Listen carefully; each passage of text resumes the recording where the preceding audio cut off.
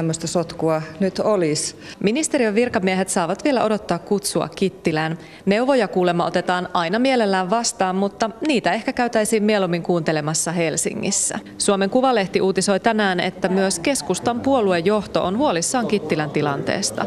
Mitä siitä itse ajattelet? En kommentoi asiaa. Lainkaan.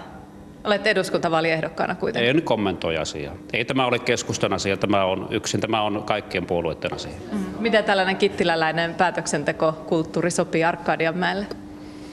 En kommentoi asiaa.